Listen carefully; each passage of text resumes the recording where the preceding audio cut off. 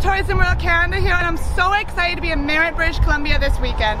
Today we are starting a tour at the Kekuli Cafe. Don't panic, we have Bannock. Now let's go on inside.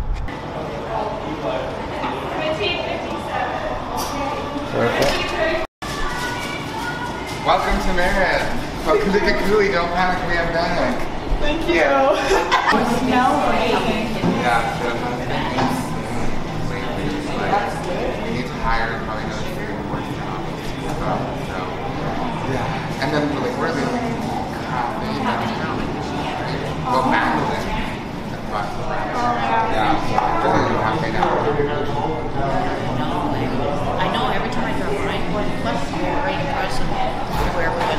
in.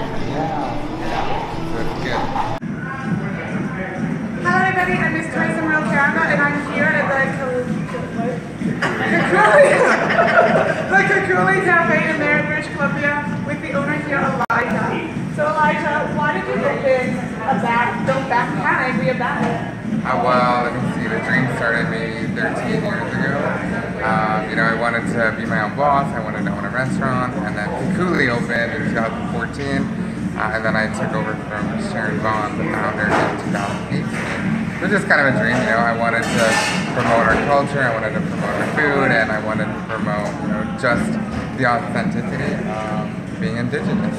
And what better way to do it than opening up a restaurant? Wonderful. Now, a big part of my reign is supporting inclusivity. Um, I have been severely bullied and discriminated against because I have an invisible disability called apraxia. So, you were telling me earlier that you face discrimination due to being an indigenous. Can you share a bit of that story? Yeah, so I didn't know that uh, you know the color of your skin mattered. I didn't know that there was culture and non-culture, and you know I just I didn't know.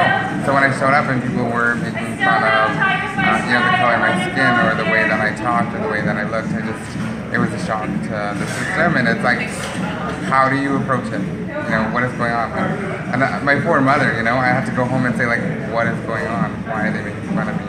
Um, you know, so inclusivity, yeah, nailed it right there. Um, yeah, we just open our arms and open our doors and say welcome, and there's none of that here because you know that's just not who we are as Indigenous people. Yeah. Wonderful. So, before, what, like, what about the culture in Merritt is different from where you, where you grew up? Yeah, so there is 204 nations in British Columbia alone, and over 600 across Canada. So I come from Nuxalk Nation, Bella Coola, and right now I reside in the Intukatmik Nation.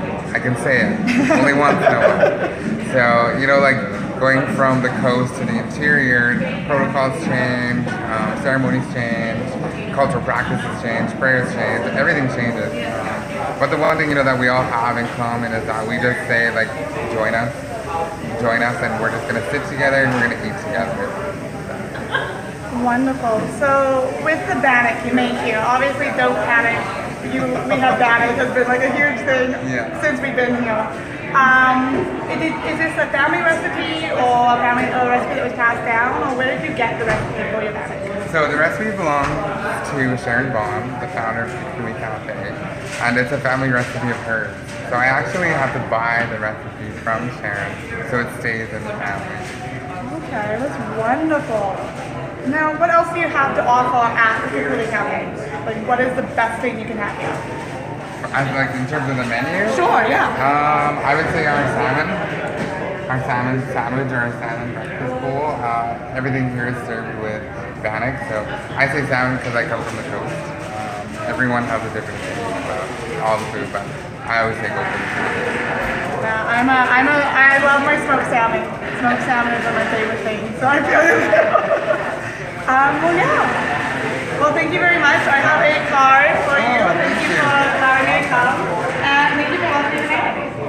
Thanks for joining us. It's always exciting when have people from, you know, all over the world just visiting and saying hello. Yes, thank you.